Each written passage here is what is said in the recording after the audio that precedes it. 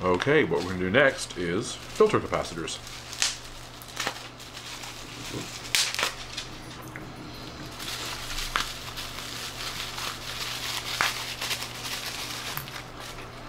First up, we have our actual snap-ins, which is going to be kind of nice, but you have to also look carefully. Got positive on the left here, and also this little X out pattern that you'll see, that usually means the negative end to ground. So that means, basically, snap-in ones are actually kind of hard to push in, which is good. But we need the positive, which is the white stripe here is the negative, so There you go. That one's good.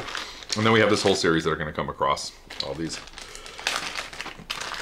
And those we just want to also check quickly. I have negative here, and I see a little plus on the left side, so they basically go in like this.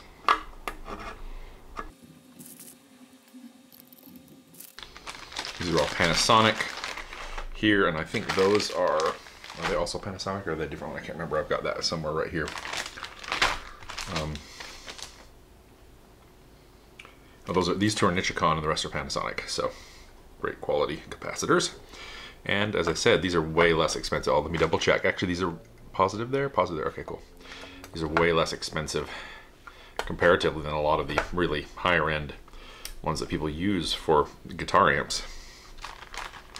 But they have lower ESR and just generally better characteristics because they're newer construction and newer technologies that have been used for things like computers to last and on situations for extremely long periods of time and whatnot for power supplies. So these actually are significantly better than what guitar players are used to having in their amps for filtering. And a lot of the more modern amp builders uh, are using this style. So uh, because they realize the, oh, okay, so now we're gonna look, I about did it backwards. Now the positive is switching sides on both of these, so I actually go around this way.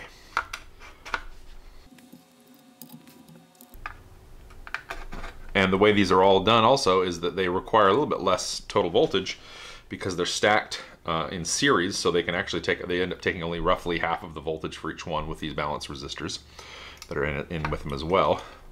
And so they end up um, being less complex to deal with. So they can handle a lot more voltage in these tube amps. So I'm going to quickly invert this now and solder those guys in and snip leads, etc. So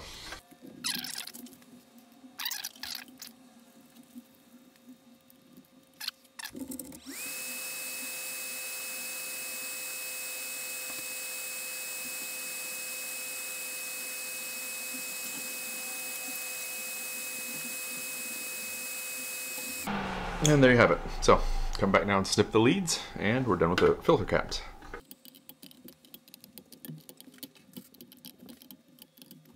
I'm gonna reflow that one. It looks a little hazy. So I could have accidentally gotten a little um, dry solder joint there. So I'm gonna just touch it up. That's the only one that looks like it to me, but.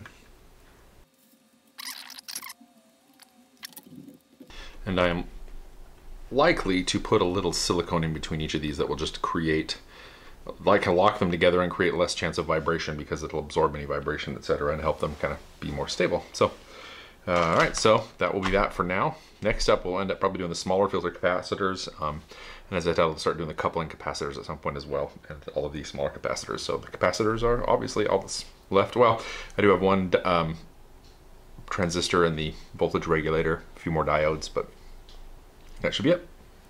So maybe some of you noticed this, but like a dingaling, I was confusing D16 and D13 in my head. I was looking for D16 or whatever, but turns out this is D13 right here. This is the one that's the actual bias one, and this is the one that goes off into this other circuit for the power for it. So uh, uh, I found the right diode for that, put that in, so I'm gonna quickly solder that, and we'll be done with that one. I have to do a few other diodes, and I've got those as separate ones because they're not this one in 405 slash 7 style.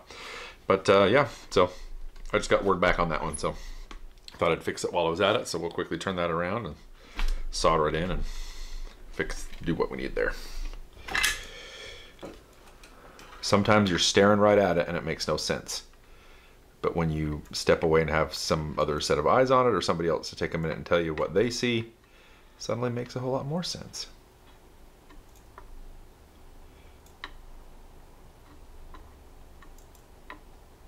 There we go. Looked that cool for a bit and snip the leads, but uh, there you have it. Doo -doo -doo. Okay, so I'm going to start putting some of the other capacitors on the board here. Um,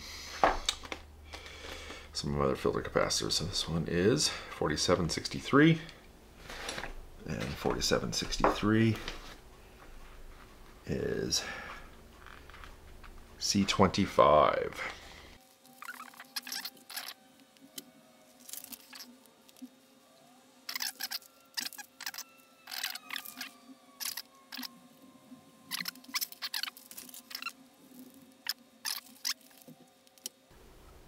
Oh, I just noticed I put that one backwards. I'm glad I looked. Okay, so this is the positive side. So that goes there. But this one I have in backwards. So I've got to unbend my leads.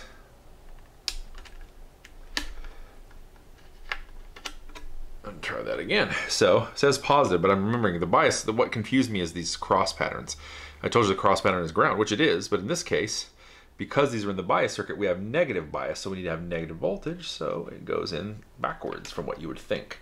The ground is connected to positive and vice versa.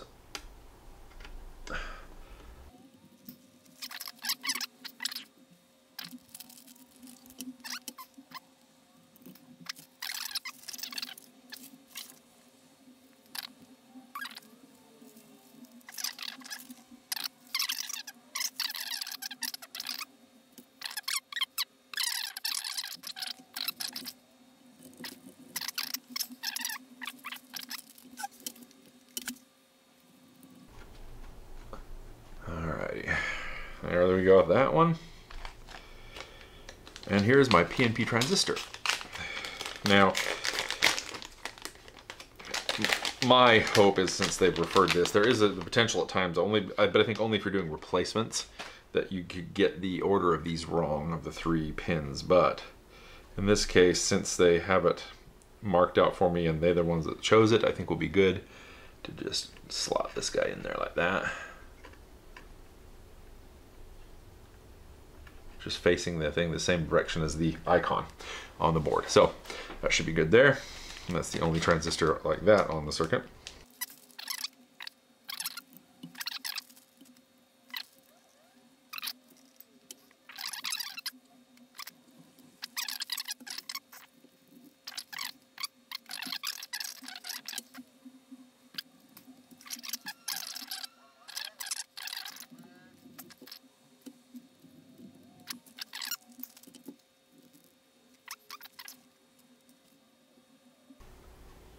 Oh no, C5 is a little tiny thing. Oh, that is a little tiny thing, okay.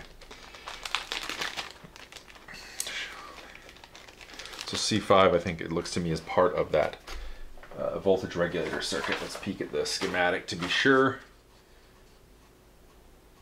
Yeah, it's a 4, yep, C5, okay. So that goes next to D2 that we already have in place there. And I'm trying to look at that one. It's hard for me to see which way is negative and which one's positive. Um, I think square is negative often. Uh, but let me try and look. It looks like one of those connects directly to the diode, so I'll peek at that. So C5 connects directly to the D2, the positive end. So the positive end should be connecting to there.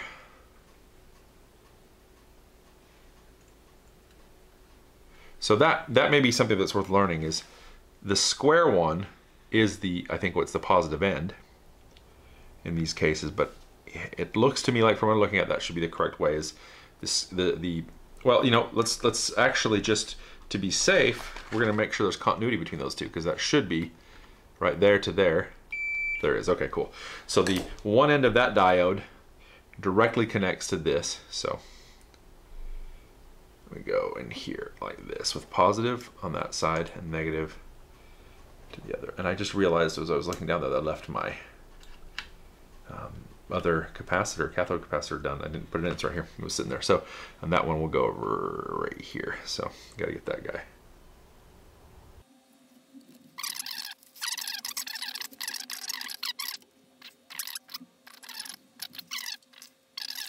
All right, we're getting down to the nitty gritty of these kind of extra components. In fact, I think this might be the last one. Um, this is the inductor, which goes in here.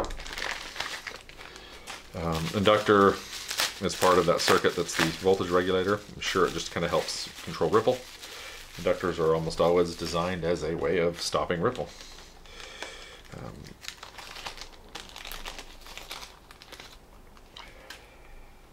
and inductors don't have a direction because they're just a single coil of wire. So I will put it in this way.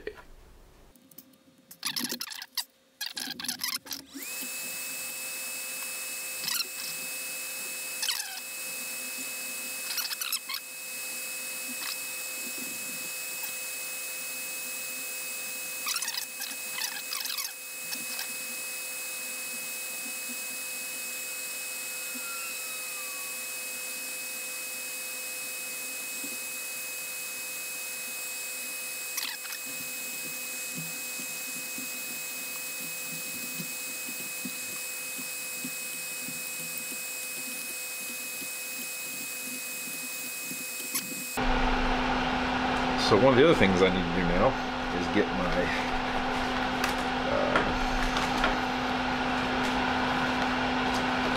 these uh, resistors in, the variable resistors. But the problem I've had is I was missing two of them. They didn't have them in stock, so I tried to order a different kind, and uh, didn't have that one. They I thought they'd fit, and they don't. So. Um, I'm gonna have to try and sort that out. Either have to do some hodgepodging to get things to work. TR4. Yes, so that's the, the mid pot. We just didn't have that available. So these, these values are just purely straight from the uh, Bluesmaster because there's not a HRM on that. Now, I will say, I did find out HRM stands actually for Hot Rubber Monkey. How's about that for weird? Um, so this is my 25K that goes into the middle hole. There we go. Now I will also do a quick check and see that these should be 25K across the two legs.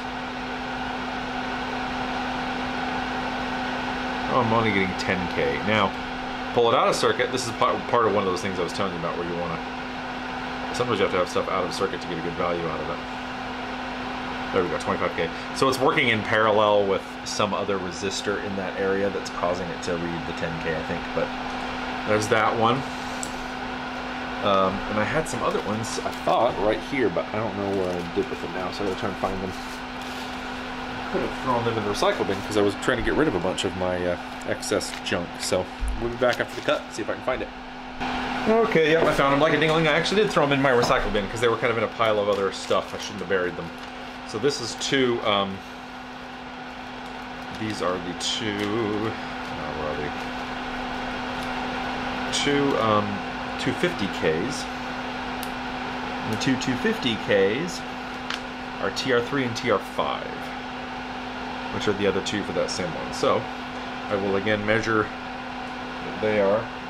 250K.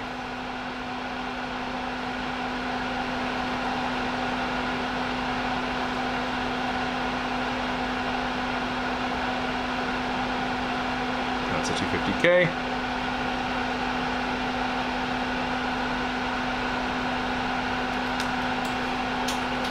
Good grief.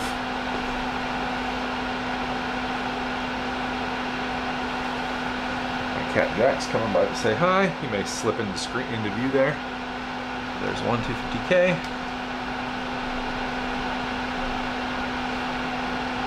These are snap-in pots, which is nice. Double check this one as well. 250K.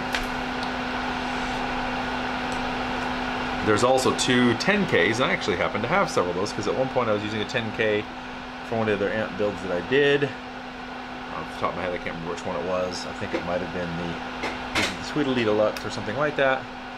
So I've got those two. One of them is the phase inverter trimmer, and one of them is the, um, the trimmer for the overdrive. So I need to run out of those really quickly.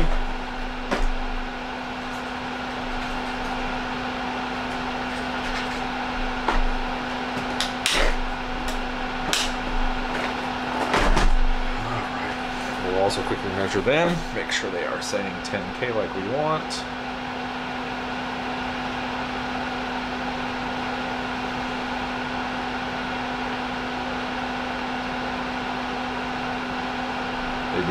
And of course, they also look like to me they're a little bit different sized.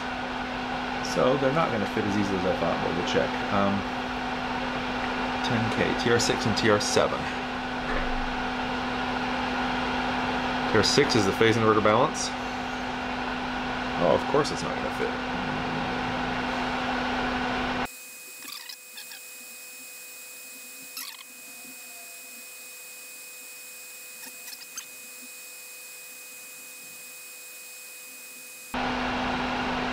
No, that's not going to work. Okay, so I have to find a source for the preamp boost level and the bias. I think those are both the ones that were 100K that I don't have.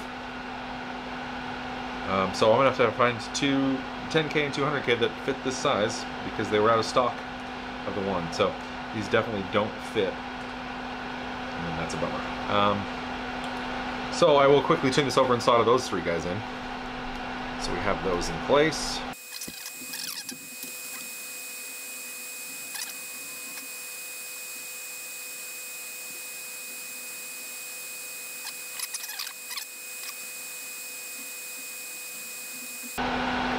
Alright, there those are in. And we really are at a stop. So my bad attempt at thinking that these were going to be the same size is a fail. Um, so I need to get two 10k pots of these types and see if I can order the, the other pots as well. Like I said, I did get some, but they're way too big as well, and I'd have to do that kind of same weird mangling to get them to go in, uh, which I don't like.